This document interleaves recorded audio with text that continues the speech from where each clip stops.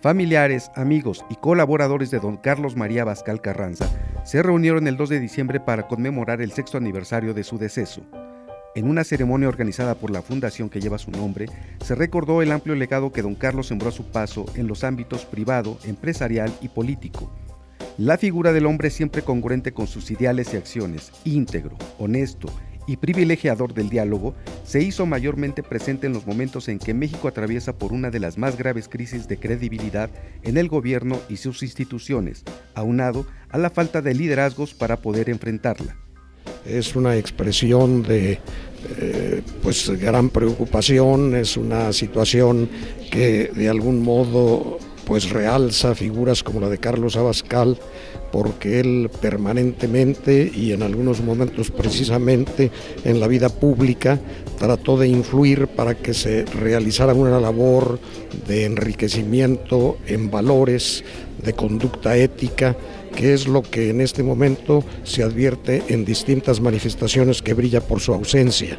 Carlos Abascal demostró en las responsabilidades que tuvo que era un político, por un lado congruente, por un lado político de valores, de principios, de ética, pero además era un político eficaz, tanto como secretario del Trabajo como como secretario de Gobernación. Carlos Abascal fue un hombre que supo llegar a acuerdos, que supo llegar a consensos, que supo solucionar problemas públicos y por eso sin duda hoy el país lo echa tanto de menos. Después de los hechos de abominables de Ayotzinapa, y la aparición de cadáveres y desaparecidos por todos lados, pues realmente eh, pone en duda eh, y se cuestiona a la gente, todo, todo el sistema político, desde la presidencia, los partidos, el poder judicial, los gobiernos estatales y municipales. Entonces hace falta la orientación que primero que mantenga la calma y que pueda reorientar la transición democrática a una verdadera consolidación. México es un país muy rico, un país que tiene, tenemos todo por delante y no podemos perder lo que se ha construido en esta transición tan importante en donde hubo una alternancia. Luego, ok, regresó el, el partido que gobernó muchísimos años, pero que debe seguir, continuar avanzando, sobre todo en combate a la corrupción y en transparencia. Para mí uno de los flagelos más duros que ha causado esta crisis es la corrupción. Yo verdaderamente, recordando también a Carlos Abascal, es uno de los temas que más hay que denunciar y luchar. Y desde luego construir las estructuras de gobierno, la normatividad, las leyes para prevenir, para erradicar la corrupción.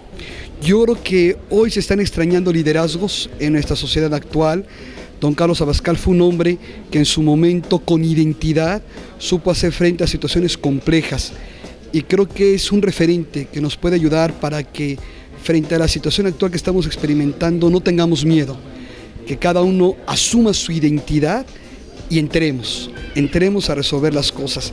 Yo digo que en el Adviento nos preparamos a celebrar una idea genial de Dios llena de amor, que fue el hecho de no quedarse mirando en la distancia lo que el pecado había producido en el mundo, sino que se hizo cercano, entró en nuestro mundo se comprometió y actuó en Jesucristo y lo sigue haciendo.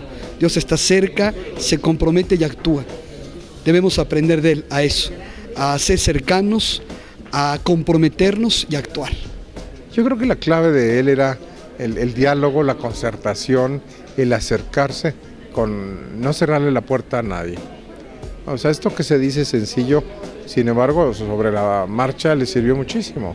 O sea, destrabó la toma de reforma del Zócalo, hubo eh, grito y, dialogando y acercándose con la gente, tendiendo la mano y como sabían que era una mano certera, veraz, la tomaban o no la tomaban, ¿no? Entonces yo creo que efectivamente liderazgos de congruencia, de eh, personas íntegras, hacen falta, ¿no?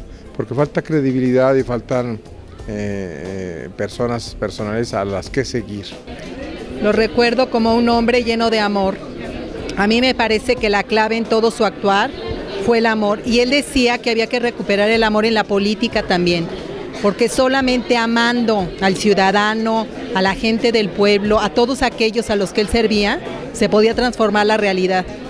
Cuando el político se dedica simplemente a crecer en poder, autosatisfacerse, entonces se corre el riesgo del autoritarismo o bien del robo, del enriquecimiento, en fin. Para él el ser humano era la esencia de su actuar. y lo amaba profundamente. Decía, cuando veo los ojos de los niños, los, de los ancianos, de las mujeres, no me queda sino reconocer en ellos como un destello de Dios. Yo creo que sin duda, al final de cuentas, es la ley del amor, la ley de Cristo. Amarás a Dios sobre todas las cosas y a tu prójimo. Si realmente hubiera ese amor, yo creo que se acabaría tanto destrozo, violencia, odio. Nos ayudaríamos mucho más, le daríamos oportunidades al que no las tiene, veríamos al que sufre, nos veríamos en el que sufre y entonces trataríamos de ver cómo sacarlo adelante. Lo, que nos está haciendo falta como sociedad, pero me parece que a nivel mundial es precisamente amar. Él dio testimonio que sí se puede ser un político congruente, honesto, porque es cristiano. Entonces él hizo realmente honor al, bautismo, que es donde recibimos las funciones de rey, profeta y sacerdote. Él fue ungido como todos nosotros, pero no todos sabemos cómo llevar a cabo nuestro desempeño. Y yo creo que sí se puede hacer mucho y el legado está aquí y tenemos que seguir trabajando muchísimo por este país. Para yoinfluyo.com, Antonio Gutiérrez Trejo.